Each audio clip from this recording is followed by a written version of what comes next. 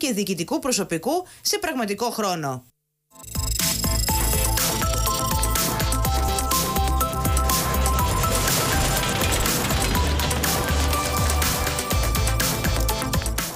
12,6 εκατομμύρια θάνατοι το χρόνο αποδίδονται από τον Παγκόσμιο Οργανισμό Υγείας σε κακής ποιότητας περιβάλλον. Συγκεκριμένα πρόκειται για το 1 τέταρτο των θανάτων παγκοσμίως που αποδίδεται στον περιβαλλοντικό παράγοντα. Στους περιβαλλοντικούς παράγοντες κινδύνου συγκαταλέγονται η ρήπανση του αέρα και του νερού, η ρήπανση του εδάφους, η έκθεση σε χημικές ουσίες, η κλιματική αλλαγή ή η περιόδης ακτινοβολία. Όλα αυτά μαζί ευθύνονται για την εμφάνιση περισσότερων από 100 διαφορετικών ασθενειών. 2,5 εκατομμύρια θάνατοι από εγκεφαλικά επεισόδια, 2,3 εκατομμύρια θάνατοι από καρδιακά προβλήματα και 1,7 εκατομμύρια θάνατοι από καρκίνο αποδίδονται στην υποβάθμιση του περιβάλλοντος και όλα αυτά στη διάρκεια ενός έτους. Ο Παγκόσμιος Οργανισμός Υγείας έκθεσή του κάνει λόγο για 12,6 εκατομμύρια θανάτους ετησίως, οι οποίοι αποδίδονται στην ατμοσφαιρική ρήπανση, τη ρήπανση του νερού και του εδάφους, κυρίως στις χημικές ουσίες, στην κλιματική αλλαγή και στην υπεριόδια ακτινοβολία. Για όλες αυτές τις ασθένειες ευθύνεται αποκλειστικά ο άνθρωπος και οι δραστηριότητές του.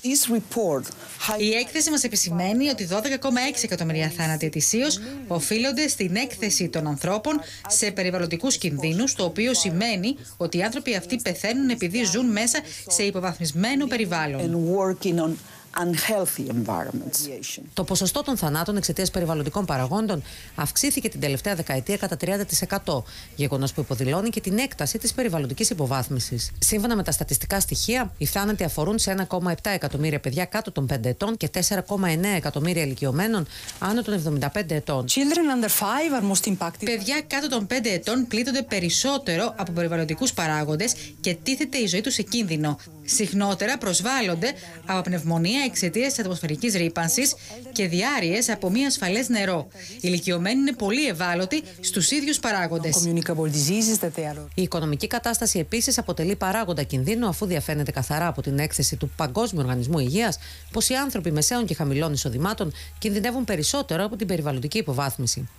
Μόνο στην Νοτιοανατολική Ασία και τις χώρες του Ειρηνικού, 7,3 εκατομμύρια θάνατοι αποδόθηκαν στην ατμοσφαιρική ρήπανση. Εάν σύμφωνα με τον Παγκόσμιο Οργανισμό Υγείας οι κυβερνήσεις εφαρμόσουν μέτρα για τη βελτίωση του περιβάλλοντος, μπορούν να βελτιώσουν και το προσδόκιμο ζωής κατά δύο ίσως και περισσότερα χρόνια.